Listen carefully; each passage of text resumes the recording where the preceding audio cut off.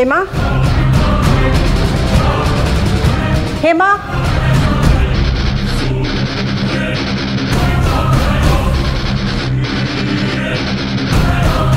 ಹೇಮಾ ಎಲ್ಲೋದ್ಲು ಇವಳು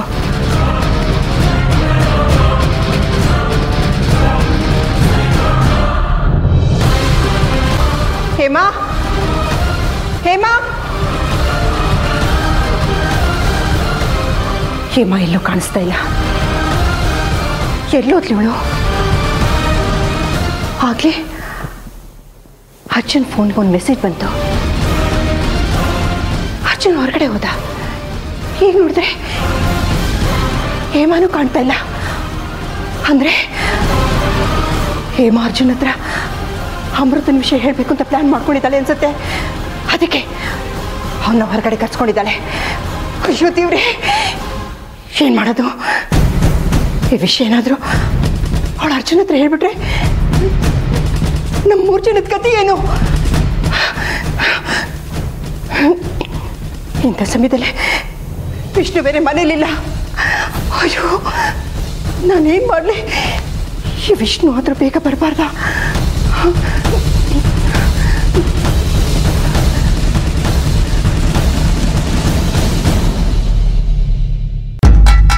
ಏನು ವಿಷ್ಣು?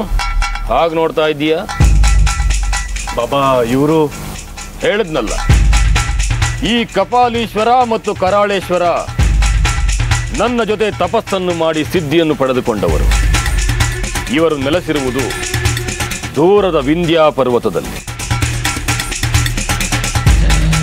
ಇವರು ತಮ್ಮ ತಪೋಶಕ್ತಿಯಿಂದ ಹಲವಾರು ಸಿದ್ಧಿಗಳನ್ನು ಸಿದ್ಧಿಸಿಕೊಂಡಿದ್ದಾರೆ.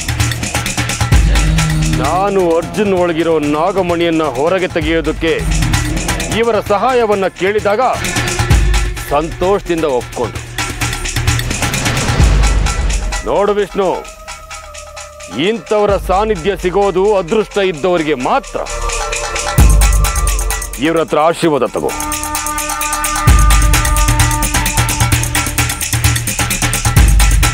ಕಲ್ಯಾಣವಾಗಲಿ.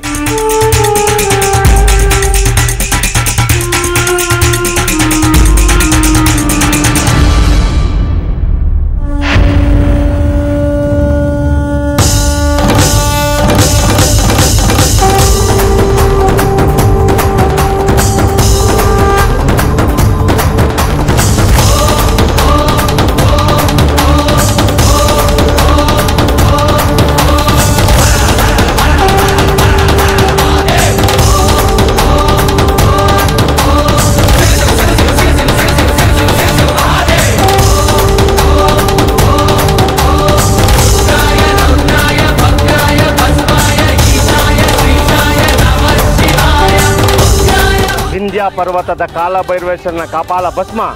ಇವರ ಕೈಗೆ ಬೀಳ್ತದಂಗೆ ಕಪ್ಪಾಗಿದೆ ಅಂದ್ರೆ ಇವರಿಗೆ ಆಪತ್ತು ಕಟ್ಟಿಟ್ಟ ಬುತ್ತಿ. ಬಾಬಾ ಇವ್ರು ಏನು ಹೇಳ್ತಿದ್ರು ನನಗೆ ಅರ್ಥ ಆಗ್ತಿಲ್ಲ. ಕರಾಳೇಶ್ವರ ನಿನ್ನ ಮಾತಿನ ಗೂಢಾರ್ಥವನ್ನ ಬಿಡಿಸಿ ಹೇಳು. ಇದರಲ್ಲಿ ಬಿಡಿಸಿ ಹೇಳೋದಕ್ಕೆ ಏನಿದೆ ಭೈರವ? ನಿನ್ನ ಪ್ರಿಯ ಶಿಷ್ಯನ ಗ್ರಹಚಾರ ಕೆಟ್ಟಿದೆ.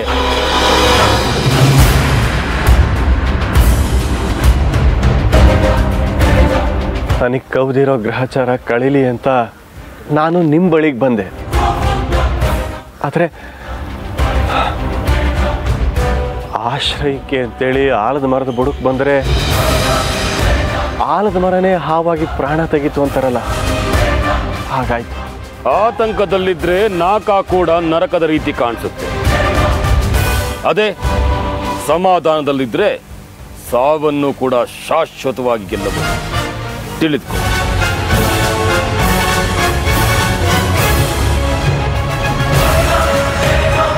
ನಿನ್ನ ಪ್ರಿಯ ಶಿಷ್ಯ ಬದುಕಿರುವುದು ಇನ್ನು ಕೇವಲ ಎರಡು ಗಂಟೆ.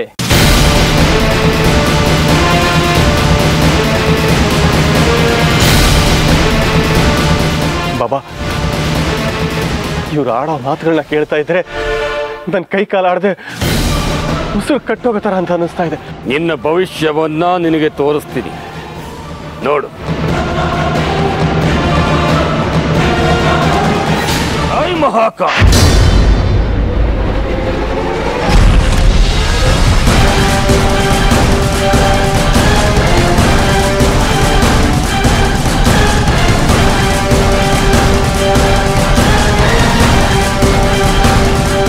ಆಂಟಿ ಇದ್ದಕ್ಕಿದ್ದ ಹಾಗೆ ನನ್ನನ್ನು ಇಲ್ಲಿಗೆ ಯಾಕೆ ಬರೋದು ಕೇಳಿದ್ರಿ? ಅರ್ಜುನ್ಗೆ ಒಂದು ವಿಷಯ ಹೇಳಬೇಕಿತ್ತು. ಅರ್ಜುನ್ಗೆ ನೀವು ವಿಷಯ ಹೇಳೋದಕ್ಕೂ ನನ್ನನ್ನು ಇಲ್ಲಿಗೆ ಕರೆಸ್ಕೊಂಡಿರೋದಕ್ಕೂ ಏನು ಸಂಬಂಧ ಆಂಟಿ? ನೋಡು ಪ್ರತಿಯೊಂದಕ್ಕೂ ಒಂದು ಬಲವಾದ ಕಾರಣ ಇದ್ದೇ ಇರುತ್ತೆ. ಅಮ್ಮ ಏನು ಇಲ್ಲಿಗೆ ಬರೋದಕ್ಕೆ ಹೇಳಿದೆ? ಅದು ನಾನು ಇಲ್ಲಿಗೆ ಬರೋದು ಅಜ್ಜಿಗೂ ಹೇಳ್ಬೇಡ ಅಂತ ಮೆಸೇಜ್ ಮಾಡಿದ್ದೆ. ಅದು ಅಮ್ಮ ಏನು ಅದು ಇದು ಅಂತ ರಾಗ ಹೇಳ್ತಾ ಇದೆಯಾ? ನೀನು ಮಾತಾಡ್ತಿರೋದು ನೋಡಿದ್ರೆ ನನ್ನಿಂದ ಏನೇನೋ ಮುಚ್ಚಿಡ್ತಾ ಇದೆಯಾ ಅಂತ ಅನ್ನಿಸ್ತಾ ಇದೆ. ಅದೇನು ಅಂತ ಓಪನ್ ಆಗಿ ಹೇಳು. ಅದೇನಾಯ್ತು ಅಂದರೆ ಅವತ್ತು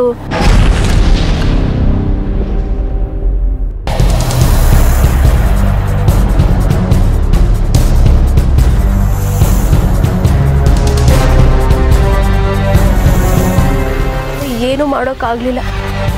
ನೀನು ಬರೋದ್ರೊಳಗೆ ಇಷ್ಟೆಲ್ಲ ಆಗೋಯ್ತು. ಏನೋ? ಅಪ್ಪ ಚಿಕ್ಕಪ್ಪ.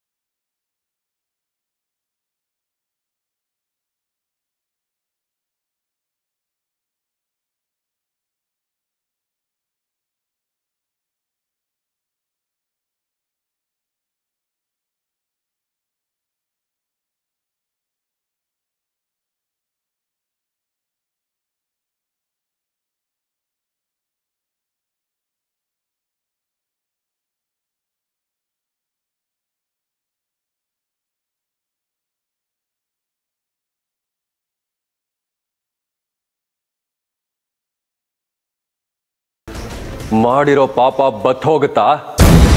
ಪಾಪಿಗಳ? ಏನು ಪಾಪ? ಅಪ್ಪ! ಅಮಾಯಕಂತರ ಮಾತಾಡೋದಕ್ಕೆ ಹೋಗಬೇಡಿ. ನೀವ್ ಏನೇ ಬಣ್ಣವಿಲ್ಲದ ನಾಟಕ ಆಡಿದ್ರು ಇವತ್ತು ನಿಮ್ಮನ್ನ ನಿಮ್ಮಮ್ಮನ ನನ್ನಿಂದ ಬದುಕುಳಿಸ್ಕೊಳ್ಳೋದಕ್ಕೆ ಸಾಧ್ಯ ಇಲ್ಲ. ಅಯ್ಯೋ ಅಂತ ತಪ್ಪು ನಾವೇನ್ ಮಾಡಿದ್ದೀವಿ? ನೀವು ಮಾಡಿರೋ ಘನಂದಾರಿ ಕೆಲಸನ ನನ್ನ ಬಾಯಿಂದನೇ ಕೇಳಬೇಕು ಅನ್ನೋ ಹಠಾನ? ನನ್ನ ಅಮೃತ ಅವ್ರು ಎಲ್ಲಿ? ಅವರು ಮನೆ ಬಿಟ್ಟು ಹೋಗೋದಕ್ಕೆ ಯಾರ್ಯಾರ ಕಾರಣ? ಮನೆಯಿಂದ ಅವ್ರನ್ನ ಹೊರಗೆ ಹಾಕಬೇಕಾದ್ರೆ ಅವ್ರಿಗೆ ಏನೇನು ಹಿಂಸೆ ಕೊಟ್ರಿ? ಮಾತಾಡಿ! ನಾನು ಮನೆಯಲ್ಲಿ ಇಲ್ಲದೆ ಇರೋ ಸಮಯ ನೋಡಿ ಅಮೃತ ಅವ್ರಿಗೆ ಹಿಂಸೆ ಕೊಟ್ಟು ಮನೆಯಿಂದ ಹೊರಗೆ ಹಾಕೋದಕ್ಕೆ ನಿಮಗೆಲ್ಲ ಎಷ್ಟು ಧೈರ್ಯ? ಅಯ್ಯಯ್ಯೋ ಇದರಲ್ಲಿ ನನ್ನ ತಪ್ಪೇನಿಲ್ಲಪ್ಪ ನಾನು ಇವರಿಬ್ಬರಿಗೆ ಗಿಳಿ ಗಿಡ್ದಂಗೆ ಹೇಳಿದೆ ಬೇಡ್ಕೊಂಡೆ. ಆದರೆ ಇವರಿಬ್ಬರು ನನ್ನ ಮಾತೇ ಕೇಳಲಿಲ್ಲ ಕಣೋ. ಹ್ಞೂ. ಏಯ್ ನೀನು ಎಂಥ ನಾಟಕಕಾರ್ತಿ ಅಂತ ನನಗೆ ಚೆನ್ನಾಗಿ ಗೊತ್ತು. ನಿನ್ನ ನಾಟಕಗಳಿಂದ ಇವತ್ತು ನನ್ನ ಮನ್ಸು ಕರಗೋದಿಲ್ಲ.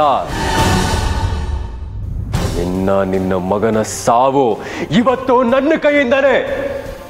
ಅದನ್ನ ವಿಧಾತ ಬಂದರೂ ತಡೆಯೋದಕ್ಕಾಗೋದಿಲ್ಲ. ಅರ್ಜುನ್, ಏನೋ ಗೊತ್ತಿಲ್ಲದೆ ಮಣ್ತಿನ ಕೆಲಸ ಮಾಡಿಬಿಟ್ಟಿದ್ವಿ. ಇದೊಂದು ಸಲ ಕ್ಷಮಿಸಿ ನಮ್ಮ ಜೀವ ಉಳಿಸ್ಬಿಡು. ಅಮೃತ ಎಲ್ಲೇ ಹೋಗಿದ್ರು ನಾವೇ ಹುಡುಕಿ ಮನೆಗೆ ವಾಪಸ್ ನಿಮ್ಮಪ್ಪ ಹೇಳಿದಾಗೆ ಮಾಡ್ತೀವಿ ಕಣೋ.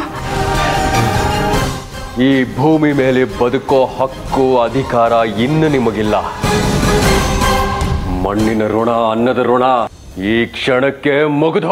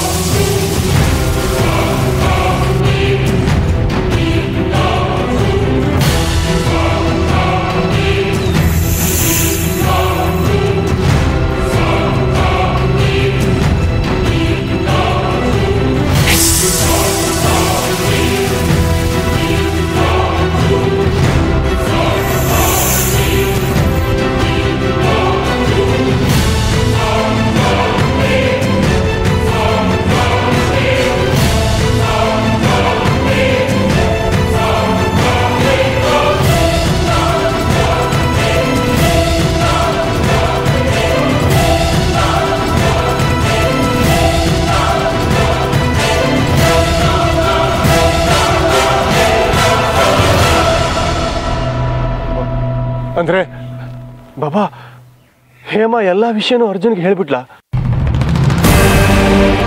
ಯಾಕಂದ್ರೆ ಅರ್ಜುನ್ ನಮ್ಮನ್ನ ಕೊಲ್ತಾನ? ಹೌದು. ಅರ್ಜುನ್ ಕೊಂದೇ ಕೊಲ್ತಾನೆ. ಅಲ್ಲ ಬಾಬಾ ಕಾಯೋ ದೇವ್ರೆ ಕಾರ್ಕೋಟಕ ವಿಷ ಕೊಟ್ರೆ ಕಾಪಾಡಪ್ಪ ಅಂತ ಯಾ ದೇವ್ರ ಮೊರೆ ಹೋಗ್ಬೇಕು? ನಾನು ಗುರು ಮಾತ್ರ. ವಿಧಿನೂ ಅಲ್ಲ ವಿಧಾತನೂ ಅಲ್ಲ. ಬಾಬಾ ಗುರು ಒಬ್ಬ ನಿಮ್ಮ ಪರವಾಗಿ ನಿಂತರೆ ಮುಕ್ಕೋಟಿ ದೇವತೆಗಳು ನಿಮ್ಮ ಪರವಾಗಿ ನಿಂತ ಹಾಗೆ ಅಂತೇಳಿ ನೀವೇ ಸಾಕಷ್ಟು ಸಲ ಹೇಳಿದ್ದೀರ. ಬಾಬಾ ಬಾಬಾ ನಮ್ಮನ್ನು ಕಾಯೋದಕ್ಕೆ ಕಾಪಾಡೋದಕ್ಕೆ ಕಾಲ ಭೈರವಂತರ ನೀವೇ ನಿಂತು ನಮ್ಮ ಜೀವನ ಉಳಿಸ್ಬೇಕು ಈಗ. ಇಲ್ಲಿಯವರೆಗೂ ನೀವು ನನ್ನಿಂದ ಪಡೆದದ್ದೇ ಆಗಿದೆ. ಕೊಟ್ಟದ್ದು ಏನೂ ಇಲ್ಲ. ನಿಮಗೆ ಕೊಡೋ ಅಂಥದ್ದು ನಮ್ಮ ಬಳಿ ಏನಿದೆ ಅಂತ ನೀವೇ ಹೇಳಿ. ಸಂತೋಷದಿಂದ ಕೊಟ್ಬಿಡ್ತೀನಿ ನೀನ್ ನನಗೇನು ಕೊಡೋದು ಬೇಡ. ನಿನ್ನಲ್ಲಿರುವ ಆಸೆಯನ್ನ ಬಿಡು. ಸಾಕು. ಯಾವುದ್ರ ಮೇಲಿನ ಆಸೆ ಬಾಬಾ? ನಾಗಮಣಿ ಮೇಲಿರೋ ಆಸೆನ ಬಿಟ್ಟು ಅದನ್ನ ನನಗೆ ಕೊಡ್ತೀನಿ ಅಂತ ಮಾತು ಕೊಟ್ರೆ ನಿಮ್ಮಗಳನ್ನ ನಾನು ಉಳಿಸ್ತೀನಿ. ಇಲ್ಲಾಂದ್ರೆ ನಿಮ್ಮ ದಾರಿ ನಿಮಗೆ ನನ್ನ ದಾರಿ ನನಗೆ.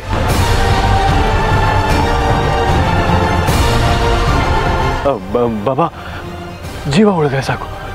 ನಾಗಮಣಿನೂ ಬೇಡ ಯಾವುದೂ ಬೇಡ. ಇದೇ ಮಾತಾ? ಹೌದು ಬಾಬಾ. ಇದೇ ಮಾತು. ನಮ್ಮ ಜೀವ ಉಳಿದ್ರೆ ಸಾಕು. ಕಾಪಾಡಿ ಅಂತ ಬಂದವರನ್ನ ಕಾಯೋದೇ ನಿಜವಾದ ಧರ್ಮ. ನಾನು ನಿಮಗೋಸ್ಕರ ಒಂದು ಆಯುಷ್ಯ ಹೋಮ ಮಾಡ್ತೀನಿ.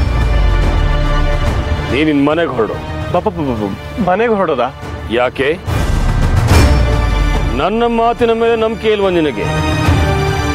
ನಿನ್ನ ಆಯಸ್ಸು ಗಟ್ಟಿಯಾಗಿರಬೇಕು ಅಂದ್ರೆ ನೀನು ನೋಡಿದ ಜಾಗದಿಂದಲೇ ಶುರುವಾಗಬೇಕು.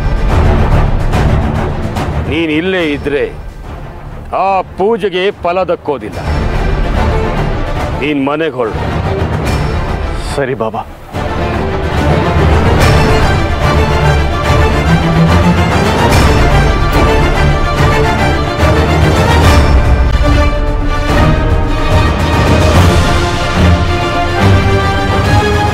ನಿಮ್ಮನ್ನ ಕಾಪಾಡೋದಕ್ಕೋಸ್ಕರನೇ ಒಂದು ಸ್ತ್ರೀ ಶಕ್ತಿ ಅರ್ಜುನ್ ಹಿಂದೆ ಮುಂದೆ ಸುಳಿದಾಡ್ತಾ ಇದೆ. ಆ ಸ್ತ್ರೀ ಶಕ್ತಿ ನಿಮ್ಮ ಪ್ರಾಣವನ್ನ ಉಳಿಸುತ್ತೆ.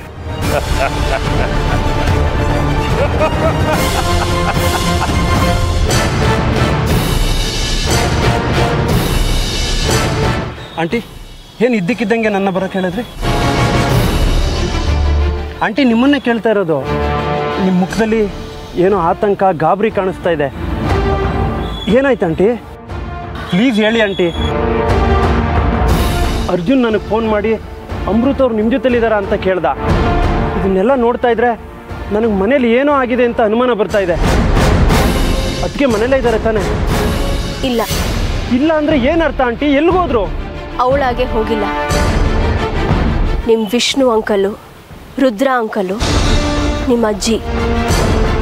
ಇಷ್ಟು ಜನ ಸೇರಿಕೊಂಡು ಅರ್ಜುನ್ ಮನೇಲಿಲ್ದಿರೋ ಟೈಮ್ ನೋಡಿಕೊಂಡು ಅವಳನ್ನ ಬಲವಂತವಾಗಿ ಮನೆಯಿಂದ ಹೊರಗೆ ಹಾಕಿದ್ದಾರೆ. ಅಂತ ತಪ್ಪು ಅತ್ತಿಗೆ ಏನು ಮಾಡಿದ್ರು aunty? Vishnu uncle, Rudra uncle ಕೆಟ್ಟೋರು ಅಂತ ಗೊತ್ತಿತ್ತು. ಆದರೆ ಇಂಥ ನೀಚರು ಅಂತ ಗೊತ್ತಿರಲಿಲ್ಲ. ಮನೆ ಮಗಳಾಗಲಿ, ಮನೆ ಸೊಸೆ ಆಗಲಿ, ಏನಾದರೂ ತಪ್ಪು ಮಾಡಿದ್ರೆ ಹಿರಿಯರು ಇಂಥ ತಪ್ಪು ಮಾಡಬೇಡಮ್ಮ ಅಂತ ಕೂರಿಸ್ಕೊಂಡು ಬುದ್ಧಿ ಹೇಳ್ತಾರೆ. ಅದರಲ್ಲಿ ಮನೆಯಿಂದ ಅತ್ತಿಗೆನ ಹೊರಗೆ ಹಾಕಿದ್ದಾರೆ ಅಂದರೆ ಅದ್ರಲ್ಲಿ ಬೇರೇನೋ ಕಾರಣ ಇರುತ್ತೆ. ಅದೇನು ಆಂಟಿ? ಹೇಳಿ ಆಂಟಿ. ಅರ್ಜುನ್ ಬರಲಿ ಇರು. ಎಲ್ಲ ಗೊತ್ತಾಗುತ್ತೆ.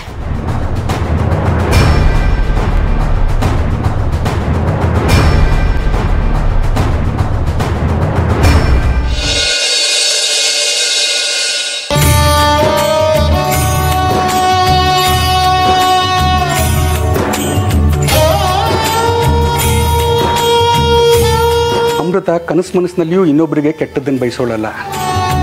ಅಂಥದ್ರಲ್ಲಿ ಅವಳಿಗೆ ಹೀಗಾಗಿದೆ ಅಂದರೆ ನಂಬೋಕೆ ಆಗ್ತಾ ಇಲ್ಲ. ಅವಳ ಸ್ಥಿತಿನ ನೋಡ್ತಾ ಇರೋ ನಮಗೆ ಇಷ್ಟೊಂದು ನೋವಾಗಬೇಕಾದ್ರೆ ಇನ್ನು ಅನುಭವಿಸ್ತಾ ಇರೋ ಅವಳಿಗೆ ಇನ್ನೆಷ್ಟು ನೋವಾಗ್ತಾ ಇರ್ಬೋದು? ಒಳ್ಳೆ ಮನಸ್ಸಿರೋರಿಗೆ ಯಾವತ್ತೂ ಒಳ್ಳೇದಾಗಲ್ಲ ಅನ್ನೋದು ನಿಜ ಅನ್ನಿಸ್ತಾ ಇದೆ ವೈಷ್ಣವಿ. ಇಲ್ಲ ಕಣ್ರಿ ನೀವು ಹೇಳ್ತಾ ಇರೋದು ಸುಳ್ಳು. ಭೂಮಿಗೆ ಹಗಲು ರಾತ್ರಿ ಅನ್ನೋದಿರುವಾಗ ಇನ್ನು ಭೂಮಿ ಮೇಲೆ ಬದುಕ್ತಾ ಇರೋ ನಮಗೆ ಕಷ್ಟ ಅನ್ನೋ ಕತ್ಲು ಸುಖ ಅನ್ನೋ ಬೆಳಕು ಇರೋದಿಲ್ವಾ? ಅಷ್ಟೇಕೆ? ನಮ್ಮನ್ನೇ ತಗೊಳ್ಳಿ. ನಮಗೆ ಮಕ್ಕಳೇ ಆಗೋದಿಲ್ಲ ಅನ್ನೋ ನಿರಾಸೆಯಲ್ಲಿ ಹತಾಶೆಯಲ್ಲಿ ಇದ್ವಿ. ಆದರೆ ನಮ್ಮ ಬದುಕಲ್ಲೂ ಆಶಾಕಿರಣ ಕಾಣಿಸಿಲ್ವಾ? ಅದಕ್ಕೆ ಕಾರಣ ಅಮೃತ.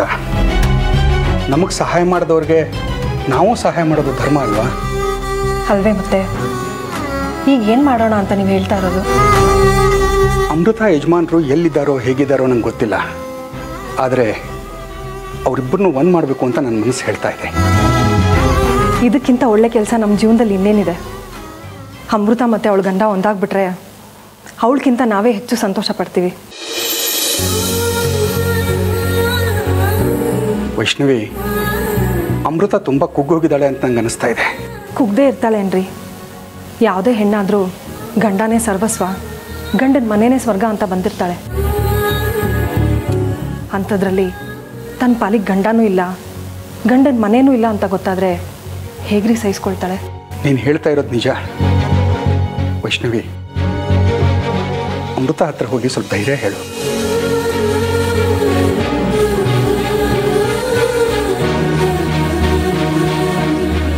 ಅಮೃತ ಹೆಣ್ಣು ಅಂತ ಈ ಭೂಮಿ ಮೇಲೆ ಹುಟ್ಟಿದ ಮೇಲೆ ಇಂಥದ್ದನ್ನೆಲ್ಲ ಸಹಿಸ್ಕೊಳ್ದೆ ಬೇರೆ ದಾರಿನೇ ಇಲ್ಲಮ್ಮ. ಲೋಕಮಾತ ಸೀತಾದೇವಿಗೆ ಲೋಕನಿಂದನೆ ವನವಾಸ, ಉಪವಾಸ ತಪ್ಪಿಲ್ಲ. ಇನ್ನು ನನ್ನಂತ ನಿನ್ನಂಥ ಸಾಮಾನ್ಯ ಹೆಣ್ಮಕ್ಳಿಗೆ ತಪ್ಪುತ್ತಾ? ನೋಡು, ಕಷ್ಟ ಬಂತು ಅಂತ ಕುಗ್ಬಾರ್ದು.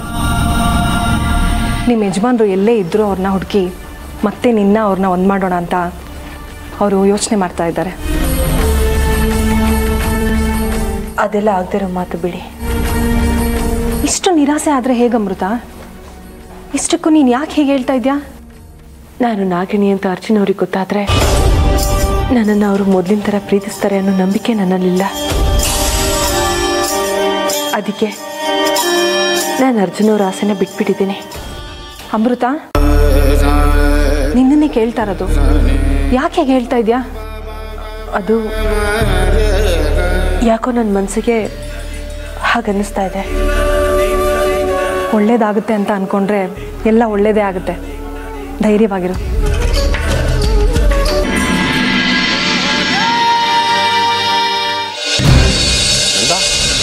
ನೀನು ಯಾವಾಗಲೂ ಬಂದೆ? ಈಗ ಸ್ವಲ್ಪ ಹೊತ್ತಲ್ಲಿ ಬಂದೆ. ಮನೆಗೆ ಬರೋದು ಬಿಟ್ಟು ಇಲ್ಲೇನು ಮಾಡ್ತಾ ಇದೆಯಾ? ಆಂಟಿನೂ ಇಲ್ಲಿಗೆ ಬಾ ಅಂತ ಹೇಳಿದ್ರು. ಅದಿರಲಿ. ನನ್ನನ್ನು ಯಾಕೆ ಇಲ್ಲಿ ಬರೋದಕ್ಕೆ ಹೇಳಿದೆ? ಅದು ಮೆಸೇಜ್ ಮಾಡಿ. ಅಲ್ಲ ಅಜ್ಜಿ ಹತ್ರ ಯಾವುದನ್ನು ಏನನ್ನು ಮುಚ್ಚಿಟ್ಟೋಳಲ್ಲ ನೀನು? ಅಂಥದ್ರಲ್ಲಿ ನಾನು ನಿನ್ನ ಮೀಟ್ ಮಾಡ್ತಿರೋದು ಅಜ್ಜಿಗೆ ಗೊತ್ತಾಗೋದು ಬೇಡ ಅಂತ ಹೇಳಿದೆ ಅಂತಂದರೆ ಏನೋ ಬಲವಾದ ಕಾರಣ ಇರಬೇಕು. ಏನಮ್ಮ ಅದು? ಅಮೃತನ್ ವಿಷಯ ನಿನ್ನ ಹತ್ರ ಮಾತಾಡಬೇಕಾಗಿತ್ತು. ಅಮ್ಮ ಇದನ್ನ ಮನೇಲೇ ಮಾತಾಡ್ಬೋದಾಗಿತ್ತಲ್ವಾ? ಇದನ್ನ ಇಲ್ಲಿವರೆಗೂ ಕರೆದು ಮಾತಾಡಬೇಕಾ? ಹೌದು. ಅಮೃತ ಅವಳಾಗೆ ಮನೆ ಬಿಟ್ಟು ಹೋಗಿಲ್ಲ ಅರ್ಜುನ್. ಮತ್ತೆ? ನಿಮ್ಮ ಅಜ್ಜಿ ನಿಮ್ಮಪ್ಪ ನಿಮ್ಮ ಚಿಕ್ಕಪ್ಪ ಎಲ್ಲ ಸೇರಿಕೊಂಡು ನೀನು ಮನೇಲಿ ಇಲ್ದಿರೋ ಸಮಯ ನೋಡಿಕೊಂಡು ಅವಳನ್ನ ಬಲವಂತವಾಗಿ ಮನೆಯಿಂದ ಹೊರಗೆ ಹಾಕಿದ್ದಾರೆ.